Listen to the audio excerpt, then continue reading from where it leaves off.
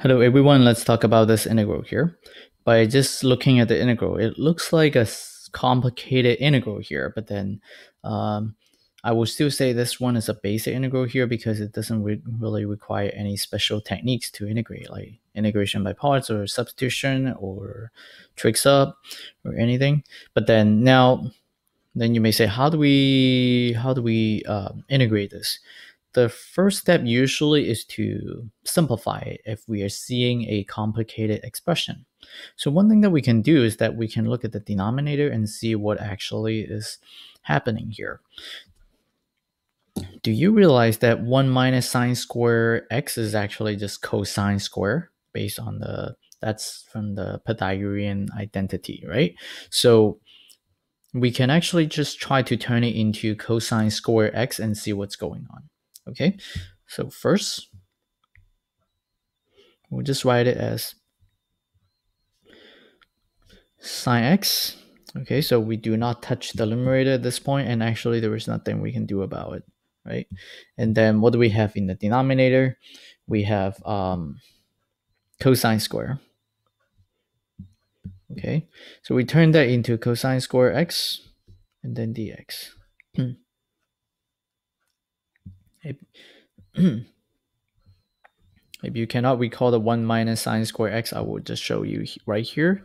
So let's just recall that sine square x plus cosine square x is equal to 1. So now cosine square x, if I subtract sine square x from both sides, I get cosine square x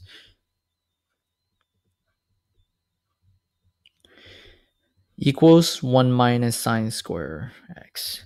So that means we can replace this 1 minus sine square x by cosine square x. So now we have this. Then you may say, what do we do? What do we, how do we continue from here? Now, what we can do is that we can think about breaking the cosine up as cosine times cosine. And then you may say, why do we do that? Um, it's really because when you break that up,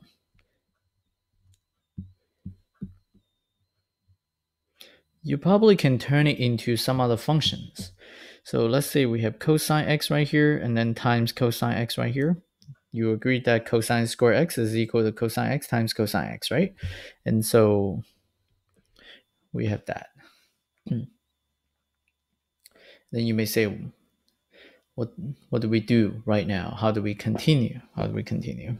Um, let's try to break down the function even further.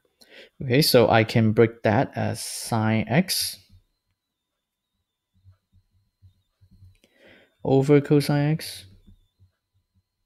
And then so as you can see here, we are actually getting tangent and then times 1 over cosine x. And so as you can see here, I we write the whole fraction as a product of two fractions.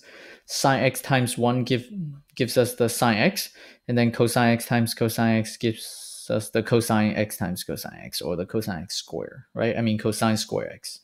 So in this case, we can turn the sine x over cosine x into tangent, and then the reciprocal of cosine x, 1 over cosine x is being turned into the secant. So let's do that. So that's tangent x. And then the other one is secant x dx. But do you recognize this tangent x secant x? Let's just recall something else.